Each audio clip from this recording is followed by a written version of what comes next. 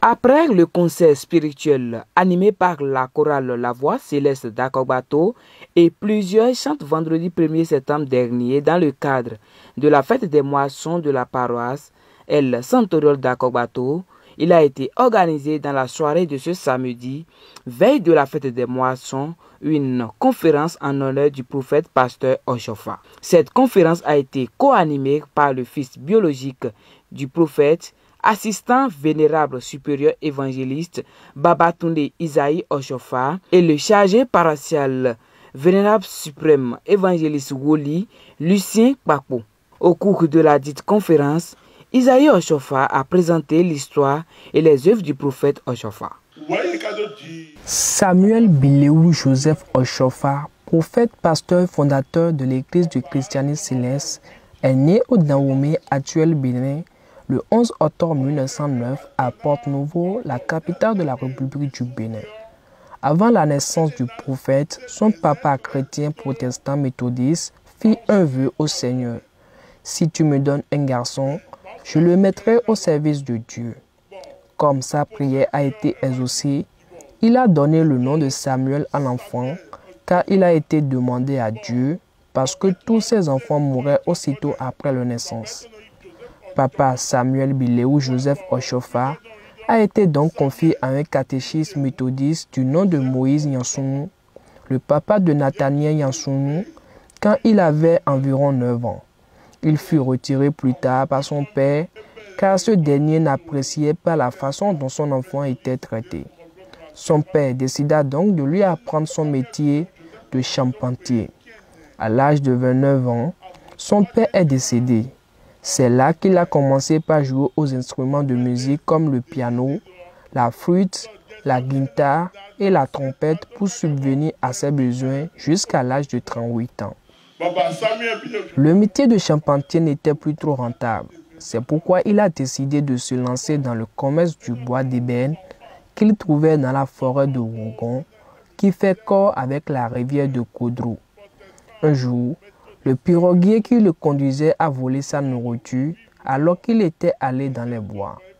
Mais avant qu'il ne revienne, le piroguier avait déjà les maux de ventre. Au retour, il a demandé ce qui lui est arrivé et il répondit qu'il avait volé sa nourriture. Automatiquement, le prophète a prié pour lui et il trouve guérison. Surpris, il prit la fuite et laissa seul le prophète dans la forêt. Il a passé 90 jours dans cette forêt où il ne mangea que du miel et ne buvait que de l'eau de coudreau. Il a été missionné par le Seigneur Jésus-Christ dans la forêt qui a fait corps au lac de Coudreau. De retour à Porte-Nouveau, il a reçu une injonction du Seigneur Jésus-Christ pour fonder une église dans laquelle on adorera que Dieu en vérité et en justice. Il mettra donc sur pied cette grande église sainte venue des cieux le 29 septembre 1947 à Porte-Nouveau. Mais c'est en 1977 qu'il a dû quitter le Bénin pour le Nigeria où il résidera jusqu'à sa mort le 10 septembre 1985. Car le prophète avait annoncé au feu président Mathieu Kérékou que des mercenaires viendraient, ce qui a poussé le président Kérékou à vouloir l'arrêter. Il a été enterré le 19 octobre 1985 à Imeko, au Nigeria. Dans la foulée, Plusieurs fidèles qui ont participé à cette conférence ont posé plusieurs questions dont l'une est de savoir pourquoi la vision et quelle est son importance dans l'église du christianisme céleste. Ce n'est pas aujourd'hui que l'Esprit descend sur les gens. C'était depuis le temps des apôtres.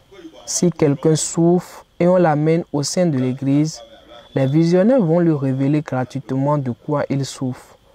Le visionnaire qui n'est pas dans l'esprit va mal prophétiser car ce sont deux esprits qui viennent, celui de Satan et celui de Saint-Esprit. Pour dire la vérité, il faut être sanctifié.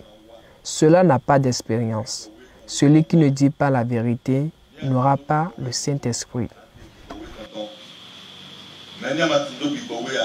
Par ailleurs, le chargé paroissial a évoqué l'importance de cette conférence avant d'exhorter la congrégation à emboîter les pas du feu prophète SBJ Oshofa et travailler selon la devise de l'Église du christianisme céleste pour avoir la grâce divine.